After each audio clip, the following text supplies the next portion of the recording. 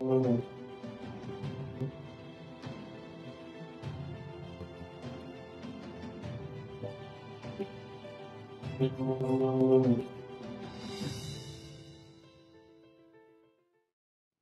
students, this lesson explains why network security issues exist.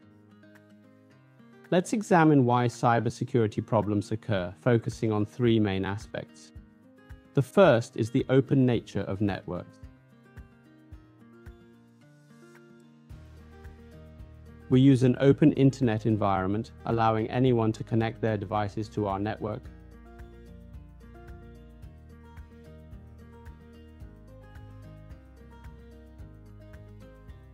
The second major reason is store and forward technology.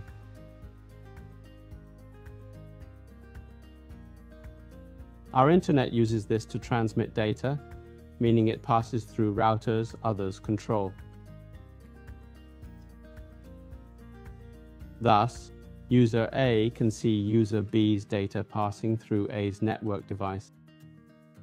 The third main reason is the existence of vulnerabilities.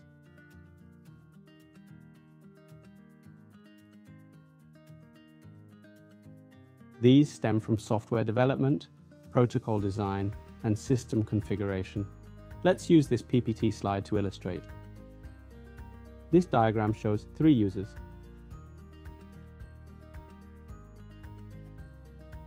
We have user A, user B, and user C.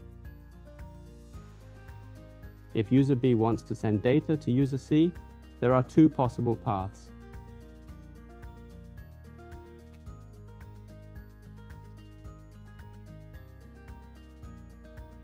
This is the first path.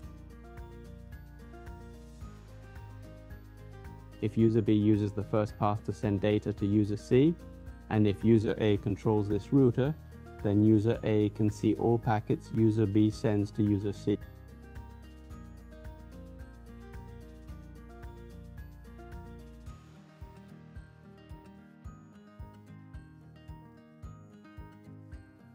This demonstrates an open environment and pure forwarding technology. Now, let's discuss the goals of network security. First, let's look at the main tasks of cybersecurity.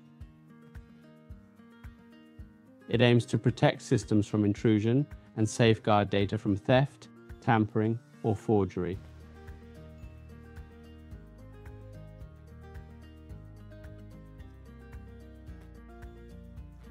Simply put, it's about guarding the network. So what exactly is data? Data is anything a computer can process and execute. This includes source code, programs, and various relevant files. We know data exists in two states. First is storage, second is transmission. Our cybersecurity goal is to ensure data safety in both states. Let's look at cybersecurity tasks. Specifically, it's about ensuring data confidentiality, integrity, availability, and non-repudiation. First, let's examine confidentiality.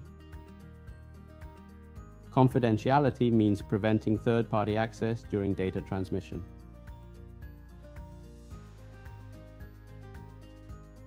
What about data integrity? Integrity ensures data isn't altered by third parties during transmission.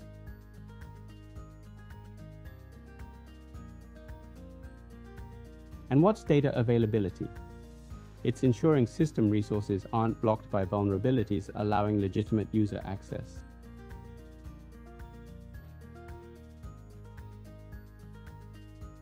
The 10th point is data non-repudiation. What's non-repudiation? It's ensuring data owners can't deny their ownership to others. This explains why network security issues exist. That concludes this topic.